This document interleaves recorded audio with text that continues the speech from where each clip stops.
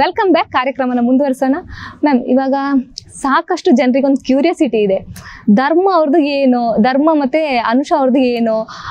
ಫ್ರೆಂಡ್ಶಿಪ್ಪಾ ಕ್ರಶಾ ಬಾಯ್ ಫ್ರೆಂಡಾ ಏನು ಅಂತ? ನೀವೇನು ಅನ್ಕೊಂತೀರಾ ಅದು?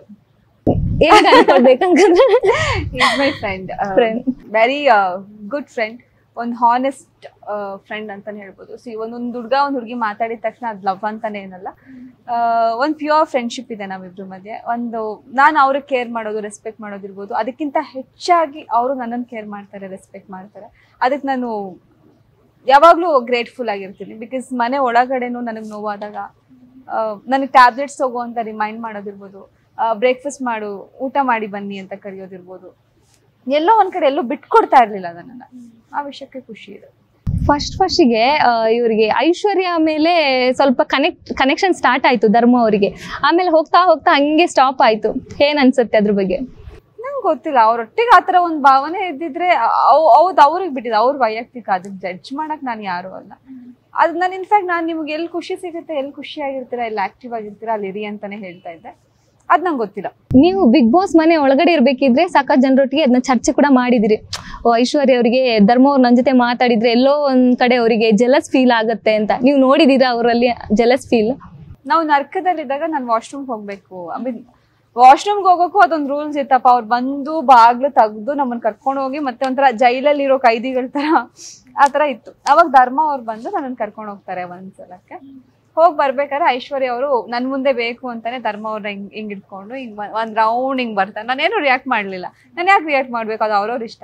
ಬಟ್ ಅಲ್ಲಿ ಟಾಕ್ಸ್ ಆಗ್ತಾ ಇದ್ದೀನಿ ಅಂದ್ರೆ ಅನುಷಂಗೆ ಹೊಟ್ಟೆ ಉರಿಸ್ಬೇಕು ಅಂತ ಹೋಗ್ ಆ ಥರದ್ದು ಎಂತ ಇಲ್ಲ.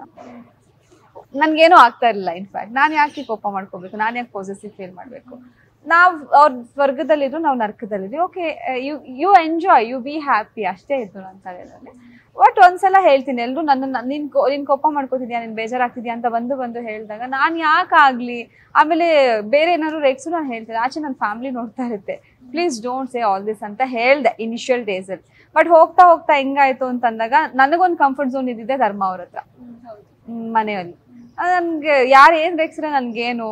ನಾನು ಅವ್ರ ಜೊತೆ ಕಂಫರ್ಟಬಲ್ ಆಗಿರ್ತೀನಿ.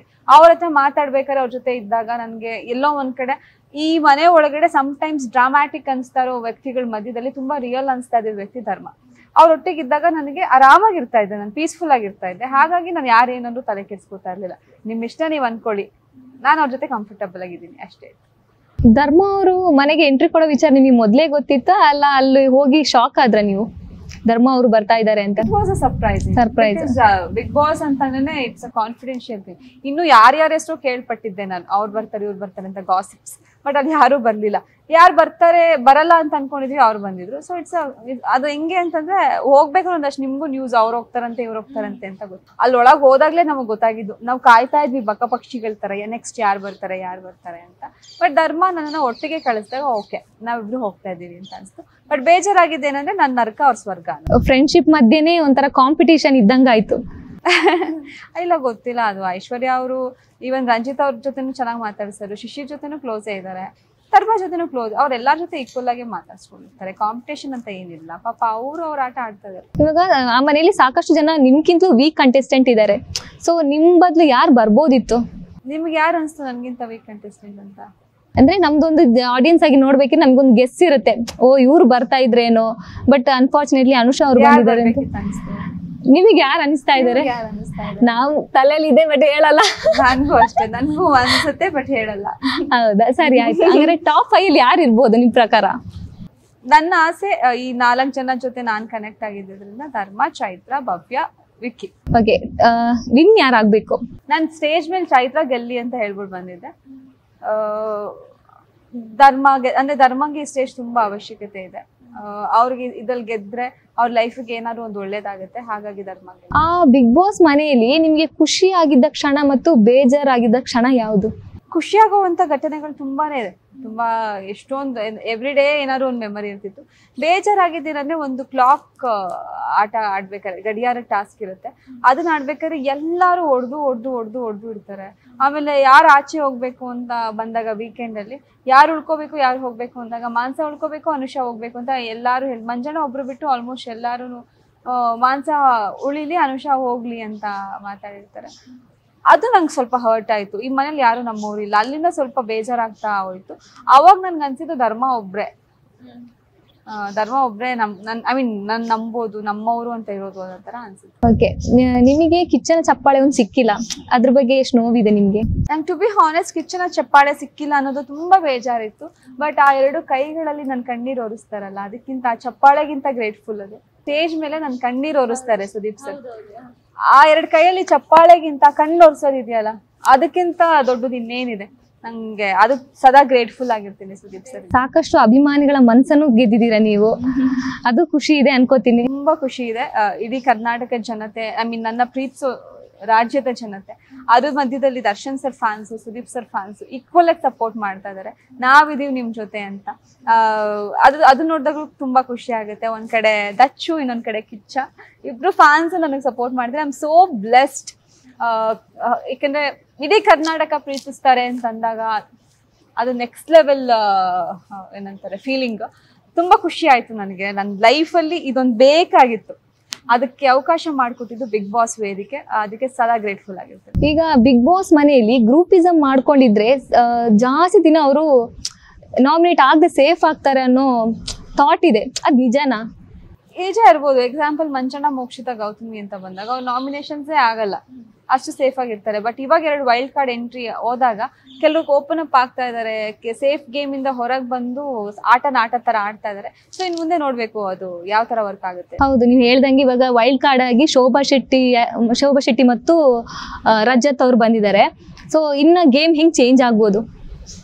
ಶೋಭಾ ಶೆಟ್ಟಿ ಅವ್ರಿಗೆ ಲೀಡರ್ಶಿಪ್ ಕ್ವಾಲಿಟಿ ಇದೆ. ಟೀಮ್ನ ಚೆನ್ನಾಗಿ ಲೀಡ್ ಮಾಡ್ತಾರೆ.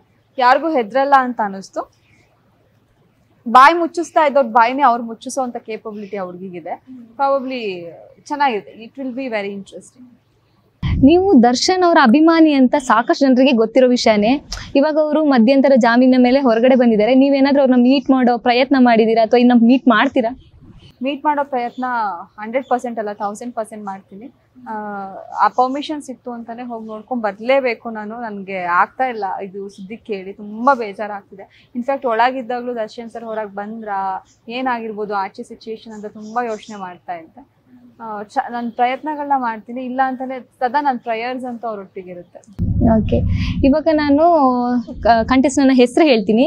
ಅದರಲ್ಲಿ ಒಬ್ಬೊಬ್ಬರಿಗೆ ಒಂದೊಂದು ವರ್ಡಲ್ಲಿ ಡಿಸ್ಕ್ರೈಬ್ ಮಾಡೋದಿದ್ರೆ ಏನು ಹೇಳ್ತೀರಾ? ಹಂಸ. ಹಂಸನೇ.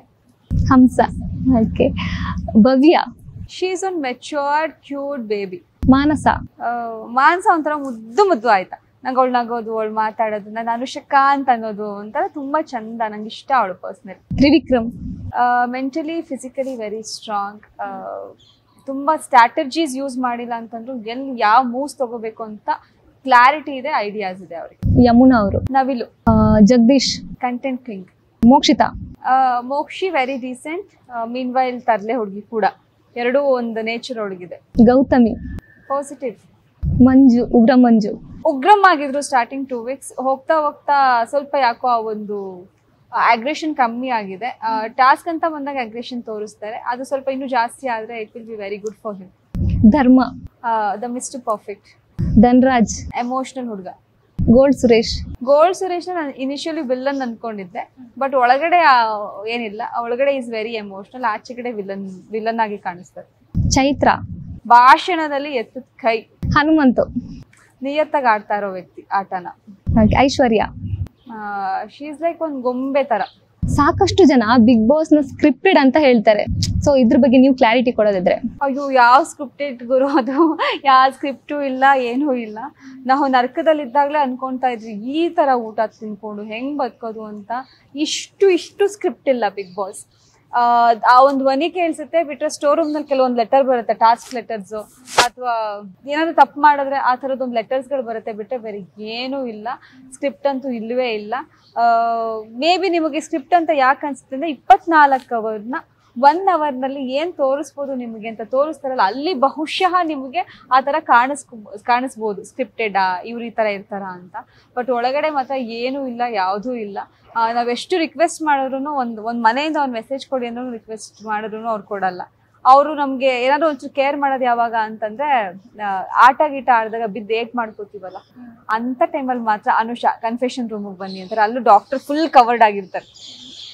ಫುಲ್ ಹೆಡ್ ಮುಖನೂ ಮುಚ್ಕೊಂಡು ಫುಲ್ ಮಾಸ್ಕ್ ಇರುತ್ತೆ ಒಂದು ಗ್ಲಾಸ್ ಹಾಕಿರ್ತಾರೆ ಬಂದು ಟ್ರೀಟ್ ಮಾಡ್ತಾರೆ. ಅವ್ರ ಮುಖ ಕೂಡ ನಮಗೆ ತೋರಿಸಲ್ಲ. ಆಮೇಲೆ ಆಚೆ ಟಾಸ್ಕ್ ಡಿಸೈನ್ ಆಗ್ತಿರ್ಬೇಕಾದ್ರೆ ಏನಾದ್ರು ಒಂದು ಕ್ಯೂರಿಯಾಸಿಟಿಯಿಂದ ನಾವು ಹೋಗಿ ಬ್ಲೈಂಡ್ ಅದೇ ಬ್ಲೈಂಡ್ ಫೋಲ್ಡ್ ಮಾಡ್ತಾರೆ. ಅದನ್ನು ನೋಡಬಾರ್ದು. ನಾವು ಹೆಂಗೆ ಡಿಸೈನ್ ಮಾಡ್ತಾರೆ, ಯಾರು ಬರ್ತಾರೆ ಅಲ್ಲಿ ಹಾಕೋಕೆ ಅಂತಲೂ ನಾವು ನೋಡಬಾರ್ದು. ಅದಕ್ಕೆ ಬ್ಲೈಂಡ್ಸ್ ಕ್ಲೋಸ್ ಆಗುತ್ತೆ.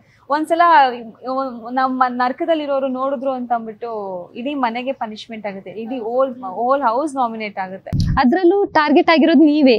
ಫಸ್ಟ್ ಟಾರ್ಗೆಟ್ ಆಗಿರೋ ನೀವೇ. ನಾನೇ ಬಟ್ ಅಲ್ಲಿ ನಾನು ನೋಡಿರ್ಲಿಲ್ಲ ಬಟ್ ನನ್ನ ಹೆಸರು ತಗೊಂಡ್ರು ಅದ್ ನಂಗೆ ಸ್ವಲ್ಪ ಬೇಜಾರಾಯ್ತು. ನನ್ನಿಂದ ಇಡೀ ಮನೆ ನಾಮಿನೇಟ್ ಆಗಿದೆ ಅನ್ನೋ ಒಂದು ಗಿಲ್ಟ್ ಕಾಡ್ತಾ ಇತ್ತು.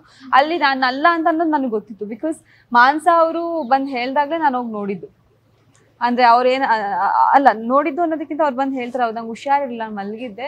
ಹೊಟ್ಟೆ ಕಟ್ಕೊಂಡು ಅಂತ ಟಾಸ್ಕು ನಾನು ನೋಡ್ಕೊಂಡ್ ಬಂದೆ. ಸ್ವಲ್ಪ ಹುಷಾರಾಗಿ ಆಡು ನಿಂಗೆ ಹುಷಾರಿಲ್ವಲ್ಲ ಅಂತ ಹೇಳಿದ್ರು ಮಾತ್ರ ಓ, ಹೌದಾ ಅನ್ನೋ ಒಂದು ಕ್ಯೂರಿಯಾಸಿಟಿ ಇತ್ತು ಬಿಟ್ಟೆ ನಾನು ಫಸ್ಟ್ ಅದನ್ನ ನೋಡಿರ್ಲಿಲ್ಲ. ಆರು ನನ್ನ ಹೆಸರು ಬಂತು ಅಲ್ಲಿ ನಾನು ಡೈರೆಕ್ಟ್ ನಾಮಿನೇಟ್ ಆಗ್ತೀನಿ. ಸೊ ಆ ಥರ ಯಾವುದೇ ಒಂದು ಪಾಯಿಂಟಲ್ಲೂ ಕೂಡ ಸ್ಕ್ರಿಪ್ಟ್ ಅನ್ನೋದು ಅನ್ಸೋದೇ ಇಲ್ಲ. ಅಷ್ಟು ಡಿಫಿಕಲ್ಟ್ ಮಾತ್ರ. ನೀವೇನು ನೋಡ್ತೀರಾ ಮನೆ ಒಳಗಡೆ ಅದಕ್ಕಿಂತ ಕಷ್ಟವಾಗಿರುತ್ತೆ ಒಳಗಡೆ ಜೀವನ ಮಾಡೋದು ಬಿಗ್ ಬಾಸ್ ಮನೆಯಲ್ಲಿ. ಆ ಟೈಮಲ್ಲಿ ಸಾಕಷ್ಟು ಟ್ರೋಲ್ ಕೂಡ ಆಗಿತ್ತು. ಆ ಬ್ಲೈಂಡ್ ಅದನ್ನ ನೋಡಿದ್ರ? ಆ ವಿಡಿಯೋಸ್ ಎಲ್ಲ ನೋಡಿದಿರ ನೀವು? ಇಲ್ಲ. ಆ ಟೈಮಲ್ಲಿ ಸಾಕಷ್ಟು ಟ್ರೋಲ್ ಕೂಡ ಆಗಿತ್ತು. ಬ್ಲೈಂಡ್ ಫೋಡಿ ಫೋಲ್ಡ್ ಮಾಡಿದ್ದು ನೋಡಿದ್ದು ನೀವಲ್ಲ ಅನ್ನೋ ವಿಚಾರ ಸಾಕಷ್ಟು ಟ್ರೋಲ್ ಕೂಡ ಆಗಿತ್ತು. ನೀವು ನೋಡಿಲ್ಲ ಅನ್ಸತ್ತೆ. ಅದಿನ್ನೂ ನೋಡಿಲ್ಲ. ನಾನು ಸದ್ಯಕ್ಕೆ ಈಗ ಎಲ್ಮಿನೇಟ್ ಆಗಿ ಬಂದ್ಮೇಲೆ ಏನ್ ಜನ ಪ್ರೀತಿ ತೋರಿಸ್ತಾರೆ ಅದನ್ನ ನೋಡಿದೀನಿ. ಅಂಡ್ ಮನೇಲಿ ಹೇಳಿದ ಪ್ರಕಾರ ಯಾವುದೇ ರೀತಿ ನೆಗೆಟಿವ್ ಇಲ್ಲ ಯೋಚನೆ ಮಾಡಬೇಡ.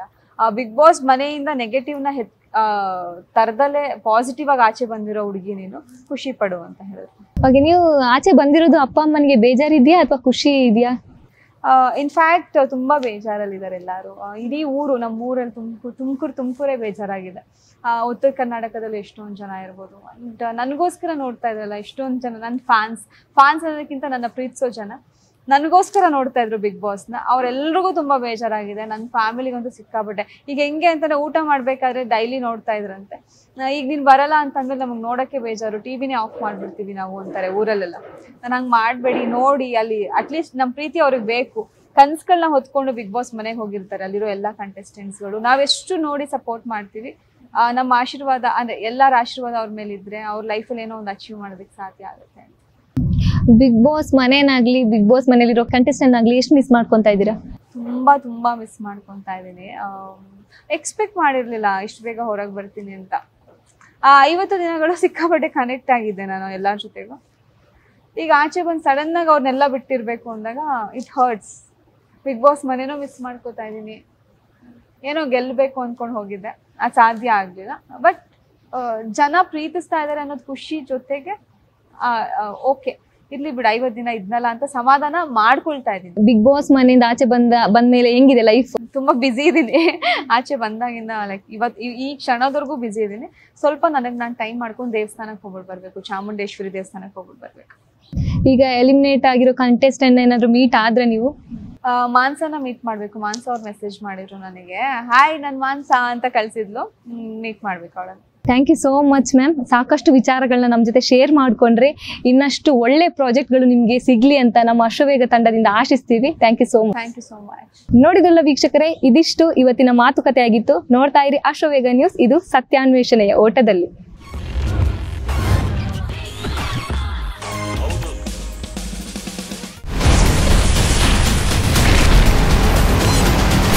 Ashwavega English News. Coming soon. Your channel, your voice, your trust.